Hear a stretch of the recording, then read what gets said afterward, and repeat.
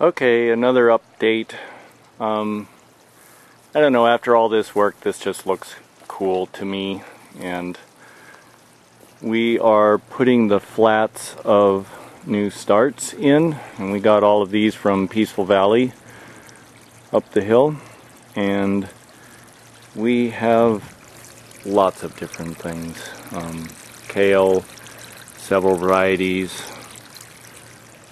broccoli, chard, lettuce, onions, several couple kinds, um, beets, arugula, snow peas, pretty much everything. So we're getting ready to stick them in the ground or the rocks and as I'm doing this you can see well it looks like the siphon just tripped down there and you can see how this is getting wet. And again this is where we will put those boxes with uh, loads of carrots. So hopefully 10 20 pounds of carrots out of there.